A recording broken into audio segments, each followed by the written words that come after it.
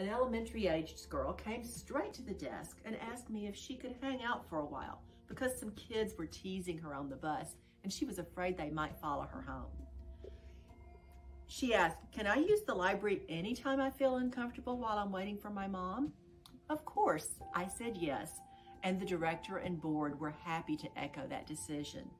I'm thankful the Delmont Library can be a safe place for anyone.